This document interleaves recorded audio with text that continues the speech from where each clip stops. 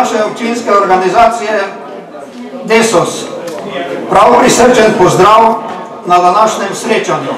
Imam prijetno dolžnost, da v naši sredi pozdravim gospoda Branka Simonoviča, generalnega sekretarja stranke DESOS. ki je na naše veselje v zadnjem času že zdaj drugič tu pri nas. Prej pa se ga spomnite, ko smo še delali ali pa ko smo še po upokojenski liniji bili večkrat skupaj na srečanji, takrat pa je Branko še bil direktor hotela Delfin in se je naših srečanj prav tako udeleževal. Še enkrat pozdravljam. Potem prisrčno pozdravljam gospoda Emila Kumra, predsednika pokrajinskega odbora DESOS Ormož Čudi. Prav tako pozdravljam gospoda Stanka Pignarja, predsednika Medobčinske zveze društva upokojence Ormož.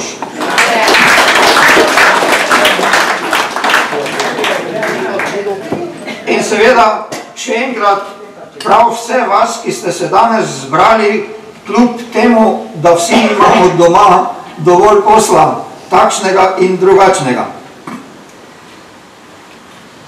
Spoštovani, menili so trije meseci od naše volilne konference, kjer smo pregledali delo in izvolili nove organe. Na konferenci smo si zadali tri pomembne naloge. Prvič, pridobivanje novih članov, drugič, oživitev dela krajevnih odborov in tretjič, odgovorno delo članov občinskega sveta in nasploh naše stranke v občini. Od volilne konference smo imeli dve seji izvršnega odbora in bili sta tudi dve seji občinskega sveta. Na julijski seji občinskega sveta je bila osrednja točka rebalans proračuna. Že pred sejo smo v razpravi v naši stranki dosegli, da ni bilo zmanjšan sredstev na postavkah, kot so oskrba v domovih, pomoč na domu in enkratne pomoči ter delo društev. Lahko smo z rebalansom zadovoljni. V tem času smo se kot stranka in enako tudi svetniki aktivno vključevali v razprave o problematiki okrog zdravstva na sponat, potem okrog odlaganja odpadkov in pa seveda aktualne zadeve ceste proti Ptuju. Na področju zdravstva lahko z zadovoljstvom ugotovimo, da smo dosegli, da ne bo sprememb in da dežurna služba v Ormožu do nadaljnega ostaja. Zdaj ostaja še seveda borba za naprej. Pri odpadkih nažalost nismo uspeli. Naša ministrica nam ni prisluhnila. Tako sta okoljevarstveno dovoljenje dobila Ptuj in Pragersko. Kljub temu, da je naša lokacija med najboljšimi, še posebej glede kapacitet. Prostor ostaja, mogoče kdaj za prihodnost drugačna rešitev. Naslednja vroča problematika se nanaša na hitro cesto proti Hedini. O tem smo več ali manj vsi že vse povedali. V tem tednu bo na Ministrstvo za infrastrukturo romalo vabilo ministru, da pride v Ormož ali pa da določi datum, da mu predamo podpise peticije. Peticijo okrog hitre ceste je v Ormožu podpisalo nekaj okrog 4000 podpisnikov, prav tako pa je precej podpisnikov podpisalo peticijo tudi na ptujskem področju. Ko bomo videli, kakšen bo odziv na ministrstvu in na direkciji za ceste, se bomo odločili, kako naprej. Če bo treba, tudi oblike zaostrovanja niso izključene.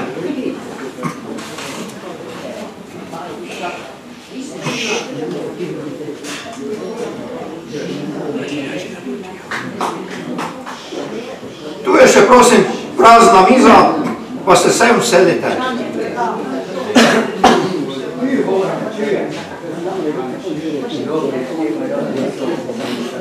To je že cela miza.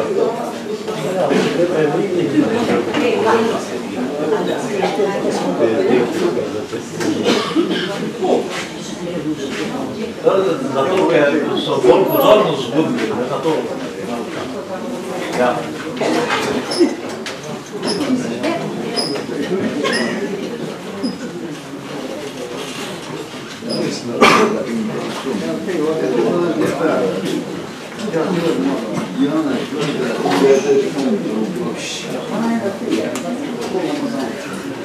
Kot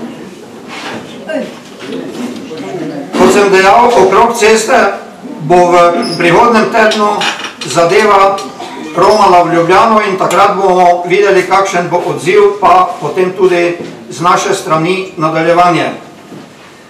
Ne bi pa bilo prav, če ne bi v tem izpostavil nekaj dosežkov v občini, predvsem na investicijah. Okrog novega leta nova knjižnica, novi vrtec pri veliki nedelji, ki bo odprt v začetku oktobra, investicijska vrednost 1,2 milijona, obnova cest, dve čistilni napravi Miklavš in Venkovci in še bi lahko našteval. Večina investicij je bila izvedenih z lastnimi sredstvi občine. Razpisov v tem letu praktično ni bilo, pa tudi sredstva, ki jih občine dobivajo od države, se vsako leto zmanjšujejo. Upamo, da bo v naslednjem obdobju možno dobiti več sredstev iz kohezije in tudi države proračunu občine, potem ne bo takih težav. Spoštovani, naj v nadaljevanju rečem še nekaj o dogajanjih v državi. Že leta ugotavljamo, da Slovenija nima programa dolgoročnega razvoja. Kako, kje, kdaj, katere so prioritete v razvoju. Tako nas kriza, pa tudi pozitivni kazalci vedno presenetijo, najdejo praktično nepripravljene. To se nam dogaja tudi sedaj. Pozitivna gospodarska rast nas začuda skrbi, namesto da bi nam vlila optimizem za hitrejši razvoj naprej, pa je edino, kar ponuja politika in vlada, nadaljne varčevanje. Jasno, saj ni vizije. Vlado zanima samo, kako zapreti proračun. Ta računovodska politika nas bo ponovno slejko prej pahnila v težave, za sosedi pa že itak zaostajamo. V državi, vladi ni neke smelosti, vse prevečje leporečja, akcije pa manjkajo. Poglejmo samo cincanje okrog drugega tira do Kopra. Ko bomo zapravili še ta dinamičen razvoj Luke Koper, pa spet ne bo nišče kriv.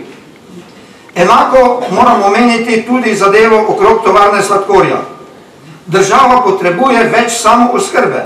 Kmetje donosno polščino, pa se kmetijski minister in vlada že leta izogibata konkretnih aktivnosti in konkretnih dejanj. Zapravili smo gradbeno operativo. Dobrim predlogom pred leti nismo prisluhnili in danes nam vse gradijo tujci, mi pa smo tretja liga podizvajalcev. Še bi lahko našteval zadeve, ki vse jasno kažejo, da ni vizije, da ne vemo, kaj bomo čez deset, kaj šele 20 let počeli v tem prostoru. Nažalost. V tem svojem uvodu pa seveda ne morem mimo, da ne izrečem podpore našemu predsedniku, gospodu Rjavcu. Pred meseci smo bili priča pravemu medijskemu linču, tudi žalitvam. Pa je predsednik pri problemu s Hrvati najmanj kriv. Vemo, kdo se je na državni ravni objemal, kdo mu je vzel pristojnosti v pogajanjih po banki. Teh se danes ne izpostavlja. Imeli smo krasno priložnost, da zadeve meje in banke rešimo pred vstopom Hrvaške v EU, pa smo naivno verjeli. Vsi pa seveda ob podpori od predsednika pričakujemo tudi v prihodnje pokončno držo in neizprostnost v borbi za naše pravice, za naše penzije in regres. Ob znani gospodarski rasti pričakujemo valorizacijo pokojnin in pravičnejšo rešitev problema okrog regresa. Prav tako pričakujemo in seveda preko generalnega sekretarja ob tej priliki izražamo željo in pa tudi vabilo, da nas predsednik v neki bližnji prihodnosti obišče. Enako želimo, da nas obiščejo tudi naši poslanci in naši ministri. Gospod generalni sekretar, prosim, da to našo prošnjo in to našo vabilo preneseš na te naslove. V uvodu sem povedal, kaj nas čaka v jesensko-zimskem obdobju. Krepiti moramo organizacijo, popularizirati naše delo v krajevnih odborih in v odborih DESUS. Vse to pomeni priprave na naslednje volitve. Leto je že minilo in trend naše prisotnosti v občini moramo obdržati na isti ravni. S trdnim delom verjamem, da nam bo uspelo. Pričakujem pa tudi vašo vsestransko pomoč. Hvala lepa za poslušanje.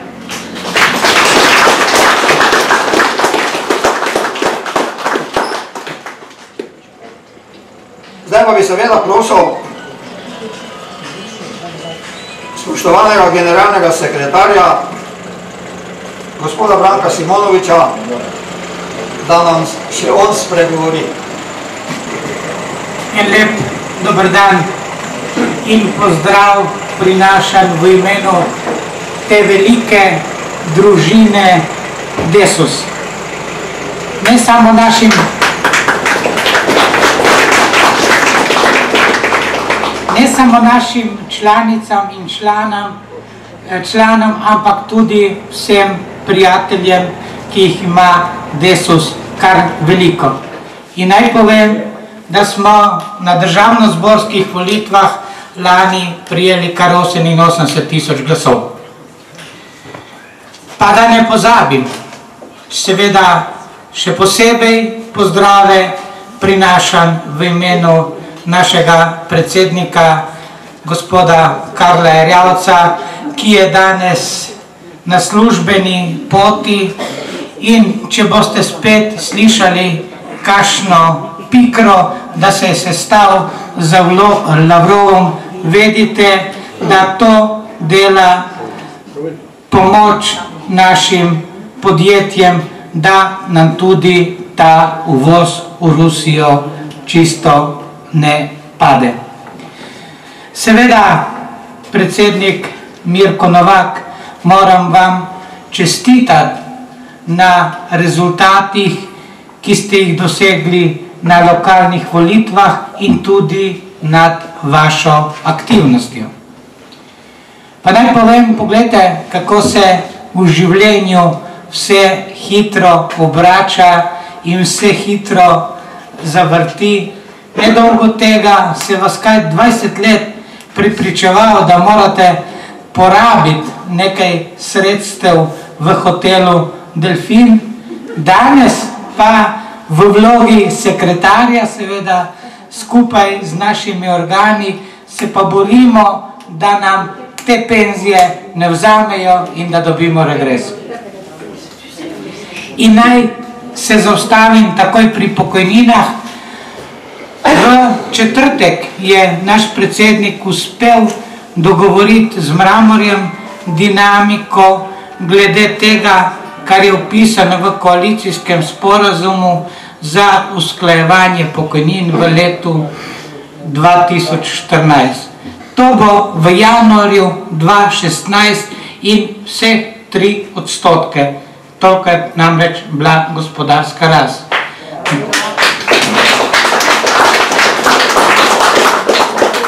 Drugo zadevo, kar smo se uspeli dogovoriti, je tudi ta, če se bo uresničila ta gospodarska rast, ki je predvidena za leto 2015, to je, da bo višja od 2,5 odstotka, bo drugo usklajevanje pokojnin v septembru 2016. Še to naj povem, zdaj, ko tečejo ti morda zelo kritični eh, razgovori glede proračuna 2016, naj povem, kljub temu, da morajo zmanjšati primanklaj kar za 400 milijonov, da smo se dogovorili, da tudi regres za upokojence bo tudi v naslednjem letu ostal takšen, kot je bil letos. Se pravi, da bojo deležni regresa tisti upokojenci do 750 evrov pokojnine, ki dobivajo. Zelo pomembne aktivnosti pa tečejo tudi od zadaj. Naj povem, da mi dobro sodelujemo z Zvezo društva upokojencev Slovenije in že v ponedeljek najbrž se bomo sestali, ko bomo štiri tematike obravnavali. Eno je tako imenovani demografski sklad ali da povem preprosto, to je pokojninski sklad po vzoru, bom rekel, zahodnih držav, iz katerega se črpajo neki donosi za usklajevanje pokojnin in predvsem za pokojnine za tiste, ki so še aktivni danes, ki še delajo. Mi imamo 22. tega meseca en poseben dogovor, skupino strokovnjakov, naj bi ta zakon sprijeli do konca leta. Veliko težav imamo, namreč mi želimo, da je to samostojna pravna oseba, v katero se politika ne bo smela umešavati.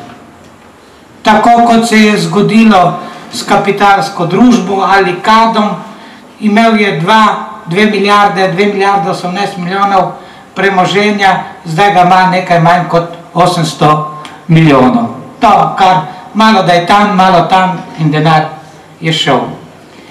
Naslednja zadeva, kar je gospod Mirko govoril, res je, ta nova koalicija slabo leto dela ni se še uigrala, ne daja še pravih rezultatov.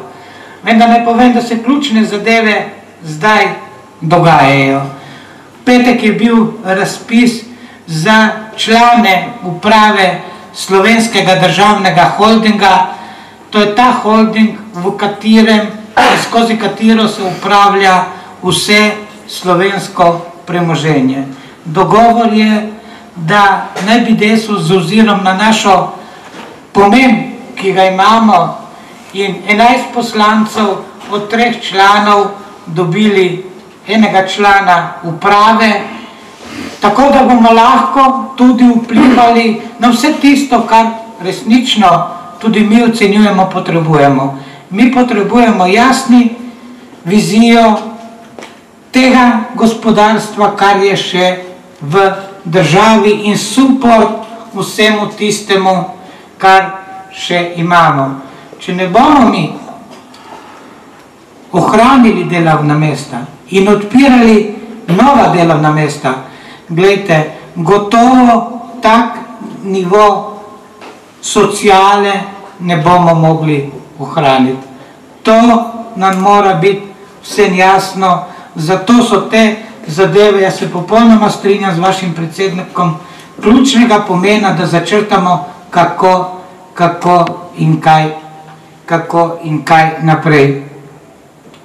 Res je, tudi to, kar je gospod Mirko govoril, naš predsednik je bil zadnji mesec ali pa mesec in pol deležen velikega pritiska. To ni bil pritisk samo na gospoda Rjavca, ampak to je bil pritisk in želje nekaterih, da se ta koalicija razpade in da pride do predčasnih volitev. To je bil njihov namen. Upam in verjamem, da tisti, ki razmišljamo malo bolj široko, nam mora biti osnovni cilj, da nekako ta vlada spelje mandat do konca. Komaj smo zagnali malo to gospodarsko rast v letu 2014, valjda ne bomo spet to šli rušiti, da se nič ne zgodi. Lobi in pritiski od zade jih je pa veliko in ti napadi, ki so bili na predsednika, niso prihajali samo z desnega pola. Veliko teh, predvsem kar se odnosov na ministrstvu za zunanje zadeve, je prihajalo tudi žal z levega pola. Veliko je gotovo stvari, ki bi vam morda bilo potrebno povedati, vendar tukaj bom stal danes med vami in če imate kakršnakoli vprašanja, kar na dan z njimi. Verjamem pa, da Desus marsikomu postavlja trn v peti, še posebno zadnje čase, ko smo uspeli nekako Zvezo društvo pokojencev Slovenije in društvi najti uh, neke skupne točke programa, tako kot ste jih vi najdli na lokalni ravni že dolgo let, uh, z, seveda za vaše uh, probleme in težave, ki jih tukaj rešujete. Še to naj povem, seveda takoj, ko so bile volitve v državni zbor končane, mi se zavedamo, da so stekle aktivnosti za naslednje volitve, ki naj bi bile čez tri leta, če se kaj prej ne bo zgodilo. Je pa velika nevarnost, da se tudi to zgodi. Poglejmo, najbolj aktualna zadeva, begunci to lahko tako nas zamaja, še posebej s tem, kar je Mačarska to noč naredila, zaprla, za, zaprla mejo. Žal, Evropa nima več preveč posluha. Danes zjutraj sem poslušal izjavo enega begunca. Pravi, ne zapirajte nas, ustavite vojno, pa se bomo vrnili od tam, kamor smo prišli. Ampak očitno ta Evropa ni še prišla do tega, do tega spoznanja. Predsednik, toliko na kratko, seveda vam pa želim en lep dan in vam povem, da zadnje čase je lepo biti član Desosa, ko nas se priključujejo tudi mlajši, nas podpirajo, pogledajte, tudi poslanc, Vilfan, nas je ravno zaradi teh zadev pridružil. Pa vse to boste dobili, mislim, da v pondeljek ali torek, novice na dom in boste lahko malo več prebrali. Hvala lepa in lep dan želim. Prosim zdaj pred mikrofon na predsednika pokrajinskega odbora, gospoda Kumra Emila. Jaz kot mladi penzionist moram dati očala dol, ko prečitam svoj govor. Dragi člani stranke Desus, spoštovani prijatelji in simpatizerji stranke Desus, v Sloveniji vlada parlamentarna demokracija. To pomeni, da svoje želje, ideje, zahteve lahko uveljavimo samo preko svojih poslancev, ki smo jih izvolili na volitvah v parlament na državni ravni in v občinske svete na občinski ravni. Samo enkrat v štirih letih imamo možnost, da pravilno volimo in se odločimo za kandidate, ki nas bodo vsa štiri leta zastopali, kot bomo mi želeli. Kaj si pa pravzaprav mi v jeseni svojega življenja želimo? Želimo si dostojne pokojnine, dostojno zdravstveno oskrbo, domove za ostarele po zmernih cenah. Zato vas kot predsednik pokrajinskega odbora Desus Ptuj Ormož vabim, da že danes vstopite v stranko Desus, kdor še ni, razmislite o bodočih kandidatih, ki jih boste predlagali v parlament in občinski svet, predvsem pa, da greste na volitve in obkrožite naše kandidate. Nezaslišano se mi zdi, da doma med štirimi stenami trepetamo za svoje pokojnine, na volitvah pa obkrožimo stranko, ki v svojem programu komaj omeni besedo upokojenec. Bodimo ponosni, da imamo svojo stranko Desus v vladajoči koaliciji, kar je ugotovila tudi Roza Kornfeld, ko je bila na obisku v Sloveniji. Upokojenci imajo po drugih državah samo upokojenska društva, o stranki v vladajoči koaliciji pa lahko le sanjajo. Trenutno ima Desus 10 oziroma 11 poslancev, 4 župane in 222 občinskih svetnikov. Seveda si želim, da bi te številke vsaj podvojili, če ne potrojili na prihodnih volitvah. Eh, za konec vam želim prijetno počutje v Ormužu in hvala predsedniku občinske organizacije Desus, gospodu Mirko Novaku, da je organiziral to srečanje. Za konec pa eno misel, oddajaj svetlobo in tema bo izginila sama od sebe. Hvala lepa. Hvala lepa, gospodu Emilu, za spodbudne besede. Pa zdaj vabim besedi še predsednika Medobčinske zveze društva upokojencev Ormož, gospoda Stanka Pignarja. Spoštovane gospe in gospodje, ali kot članice oziroma člani DESOS-a ali pa kot privrženci oziroma simpatizeri, prav lep eh, pozdrav. Pozdravljam tudi eh, Branka Simonoviča, sekretarja eh, zdaj ne vem, DESOS-a oziroma stranke kot take na nivoju Republike Slovenije gospoda eh, Mirka Novaka, podžupana in pa tudi eh, predsednika občinskega odbora. Eh, pozdravljam tudi vse občinske svetnike, ki so danes prisotni, mislim, da so vsi štirje tu. Eh, zdaj, kakvi sebinski zadev ne bi tu razval, ampak se pridružujem vsem tem stvarem, ki je eh, Mirko Novak povedal, to, kar se tiče na lokalnem nivoju, vseh nalog, ki so ene že eh, stare, imajo že skoraj sivo brado, določeni problemi, vse kaj se tiče ceste, pa tega.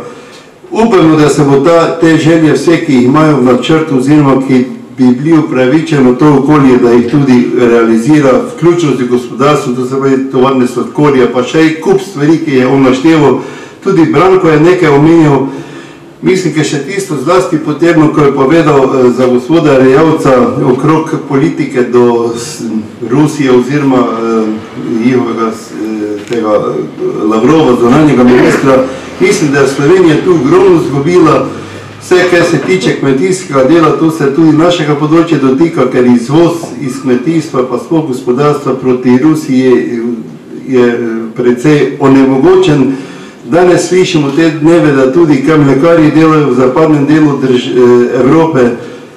To je vse izvoz, ki smo ga imeli prej v Rusijo, pa ga tega ni. Mislim, to je na cilje in zapadne politike, ki sploh ne gleda, kaj določene države pa gospodarstvo zgubljajo. Mislim, da to je pomen in da bi te stvari mogle biti, da je tu bila sprejena napaka in da je to prav, če gospod Erjavec prova nekako navezovati po obvoznici nešne stike z tem področjem, to je velik trg, ki je pa zlasti pomemben za, tudi za državo Slovenijo, ali pa vse za določene dela gospodarstva v Sloveniji.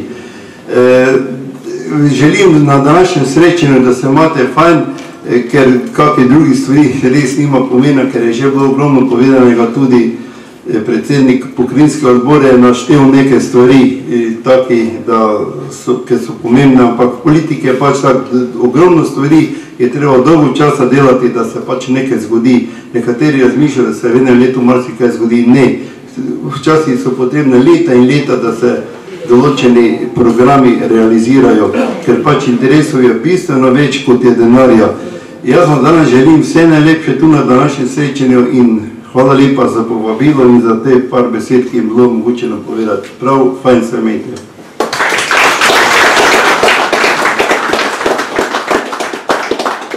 Hvala lepa tudi gospodu Pignarju.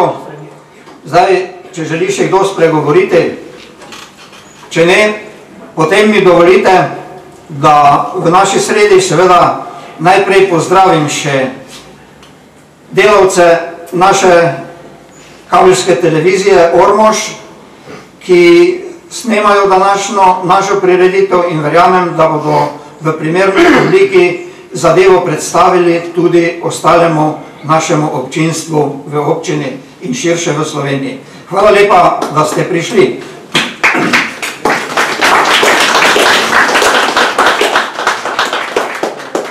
Nadalje, vsi, ki smo govorili, smo seveda tak ali drugače želeli malo pihniti na vašo dušo. Zdaj, druga dva muzikanta bota v veselem tonu to počela. Tudi njima lep pozdrav in ne morem pa pozabiti, seveda ali ne smem, še tistega, ki bo poskrbel za naše telo. To pa je gospod Marjan Skok, gastro, restauracija iz Ptuja, naš dolgoletni prijatelj, ki nas je že veliko krat nahranil do sitega. In verjamem,